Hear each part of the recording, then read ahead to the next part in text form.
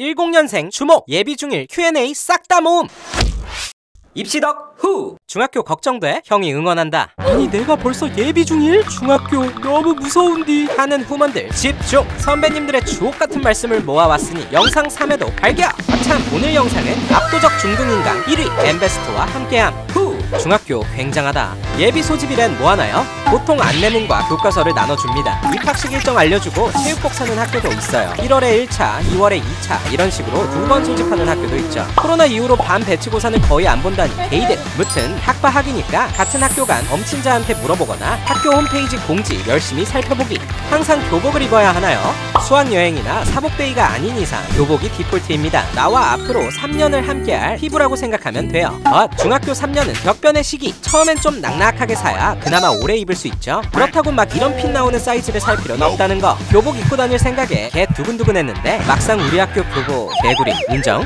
등교 시간 빡센가요? 보통 중학교 등교 시간은 8시에서 8시 반. 초등학교 때보다 약간 빠른 정도예요. 근데 지각하면 벌점이란 걸 받는다더라 새로 생기는 과목이 있나요? 정보, 한문 등의 과목이 새로 생깁니다. 제2 외국어로 일본어, 중국어를 배우는 학교도 많죠. 하지만 벌써부터 걱정하거나 예습할 필요는 없으니 가벼운 마음으로 다가가 보자고. 친구는 어떻게 사귀나요? small talk으로 시작해 공감대를 이끌어내는 게 포인트예요. 오늘의 날씨, 친구의 OOTD 등으로 대화의 포문을 열고 얘랑 나랑 같이 좋아하는 분야가 뭔지 탐색 들어가자고요. 어라? 그 순간 보이는 친구 책상 위 이 탭은 너도 엠베스트 들어? 나도 듣는데. 아 진짜? 장풍쌤 진짜 재밌지 않냐? 공감대 찾기 성공!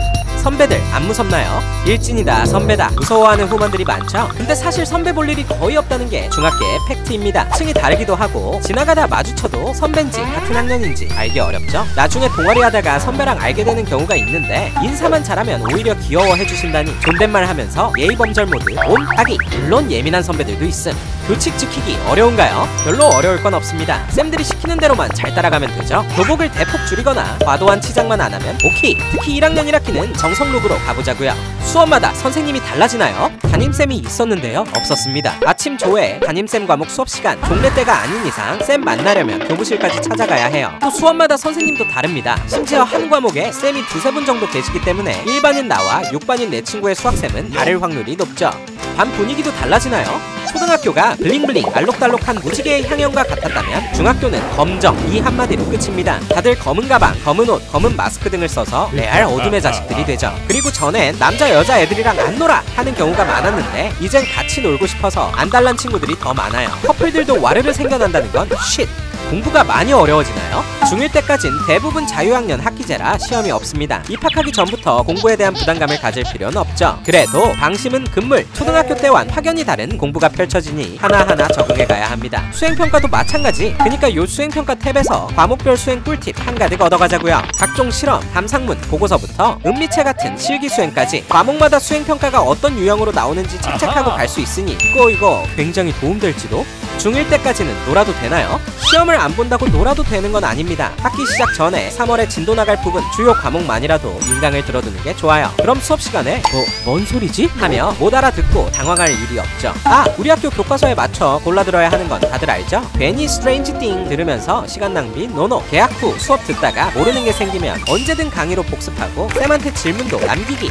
중학교 필수템이 있나요? 과목별 필기 노트나 학습지 갖고 다닐 파일 등은 미리 사지 말고 첫 수업 마치고 사기. 필요 없는 과목도 있고 쌤이 이런 거 사라고 딱 정해주시기도 하거든요. 그 외에 이거저거 막 쓸 노트 하나랑 필통, 필기구가 필요한데요. 삼색 볼펜과 형광펜은 필수고 필기량이 많아지기 때문에 연필보단 샤프를 추천합니다. 교과서에 여백 부족하니 포스트잇도 있음 요긴하다더라. 또 필요한 아이템 추천해주세요. 학교에 있는 시간이 길어져서 많이 졸릴 수 있습니다. 졸음껌이나 이클립스 같은 거 갖고 다니면서 먹으면 좋아요. 또 혹시 모를 상황을 위해 휴지 하나 정도 가방에 품고 다니는 중학생이 되자고요. 시간 날 때마다 이런저런 강의 듣는 것도 깔쌈한 중학생 등극하는 지름길. 쉬는 시간에 탭 탁 열어서 공부하는 모습 보여주면 애들 시선도 끌 수 있음. 구독해라. 후! 이제 곧 겨울방학이군. 중학교 공부는 초등학교 때와 180도 다르니 맞춤형으로 공부할 준비를 해야겠죠? 겨울방학 단기 특강 and 예비중을 위한 최상위권 프로젝트. 물어 압도적 중등인강 1위. 엠베스트로 보고! 그럼 구독하시고 중학교 화이팅해요 여러분. 빠이